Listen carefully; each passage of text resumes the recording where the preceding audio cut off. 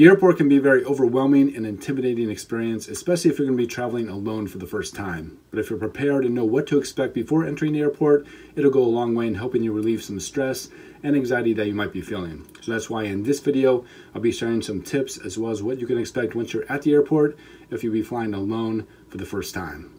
Let's go. Dream vacations start here. So this video is actually the second video in a two-part series I'm doing about flying alone for the first time. In the first video, I covered some tips about how to prepare before you go to the airport. So if you want to catch that video, just click the link here above, where I also posted at the end of the video, as well as in the video description. But today's video is all about tips on how to prepare yourself once you're at the airport. So let's get into it. The first tip I have for you is to arrive early at the airport. This might sound simple, but as a person who'll be flying alone for the first time, it's important. You never know what you can expect at the airport, but I can assure you it'll never go as you think it will. Arriving early makes a surprise of long check-in and security lines or even leaving something in the car a lot less stressful. My recommendation for how early you should arrive at an airport is two hours for domestic flights and three hours for international flights. If it's going to be your first time ever at an airport, then maybe give yourself even more time. And if you need a step-by-step process of how to navigate an airport for the first time, I do have a video on that and you can find that video linked in the video description. The second tip I have for you is to have one spot for all your important and essential items. When going through the airport process, you may have to take out your ID and passport more than once, so it can be easy to place those items in different areas each time you take out your ID. So it's important to designate one area to keep your passport, boarding passes, and check luggage receipts in one area so you don't end up in a panic mode thinking you've lost something important. I like to use this travel pouch when I travel internationally.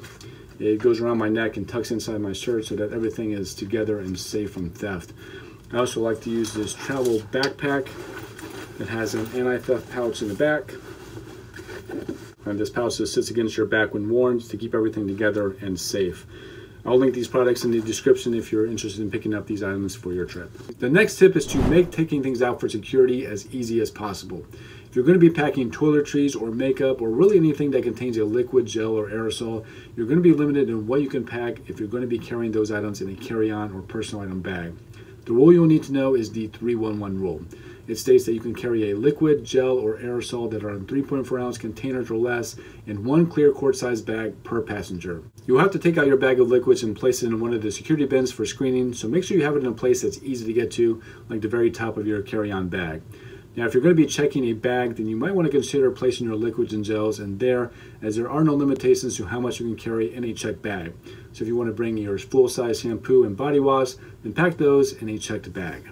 The other thing you'll have to do when going through security is take off your shoes, belts, jackets, and sometimes jewelry, depending on how much metal is in them, and place them in the bins as well as any electronics larger than a cell phone.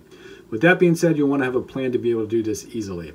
Wear slip-off shoes that can be easily taken on and off. And a good hack that you can do is if you're wearing a jacket is to place your phone, jewelry, belts, and anything small enough to fit in your jacket pocket and place it in the bin. That way all your stuff is together and covered and not scattered throughout the bin. If I'm not wearing a jacket, I usually just place all these things in my personal item bag to be x-rayed.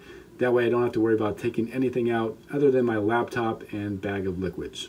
Another tip to help reduce your stress at the airport is to find your own space. Airports can be big and busy, so choosing a spot to sit and relax before your flight is important.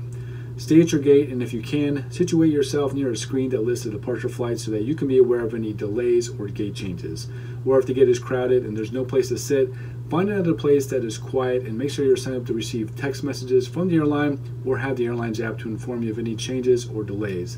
I would recommend returning back to your gate at least 30 minutes before your flight's departure, as that is when boarding usually begins. The next tip I have for you is to stay hydrated. The air inside of a plane is very dry and it can leave you feeling dehydrated and tired. While you can't take a bottle of water with you through security, you can take an empty water bottle and fill it up once you're through security. Or there are places to buy food and drinks once you're through security and in the security area and anything you buy in this area can be taken on the plane with you. Just be mindful of anything that has a strong aroma as the rest of the people on your flight will be able to smell it too. If everything has gone smoothly for you and you end up finding yourself early at your departing gate, the next tip I have for you is to bring items to entertain yourself.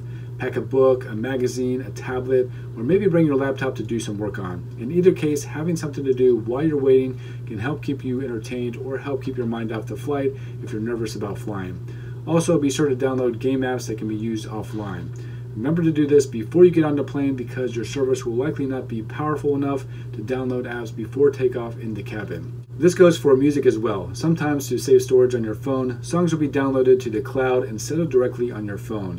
When it comes times to switch your phone to airplane mode, suddenly most of your music library is gone. So be sure to download the music you want before boarding. If it's going to be your first time flying alone, be aware of the flight safety demonstration the flight attendants will conduct before takeoff. Hearing the different emergency situations can tend to induce anxiety and fear in some people, but actually hearing what to do in an emergency and being prepared is the most comfortable thing you can do. Another tip I have is to bring a pen, wired headphones, and a portable phone charger. If you're traveling internationally, you'll have to fill out forms on the plane for customs, and flight attendants don't usually walk around handing out pens. Even if you're traveling domestically, you may want to do things like a journal, a puzzle, or work, so having a pen is essential. Now I realize that most people do not have wired headphones anymore, but some planes do not have an easy way to connect Bluetooth headphones to the plane's in-flight entertainment system. So for longer flights where you may want to watch a movie or so, you may not be able to access the audio for it unless you have wired headphones. So for that reason, it's good to bring a pair. If you're planning just to use your phone or tablet for entertainment, then your wireless headphones will do. However, you may want to consider noise canceling headphones to help eliminate any noises around you.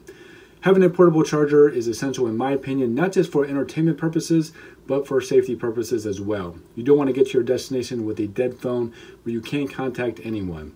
Now, depending on the airline and the type of seat you have, there are available USB ports that you can plug into, but I've been on flights where the USB port doesn't work at my seat and I'm left having to turn off my phone to reserve battery. Don't let that happen to you.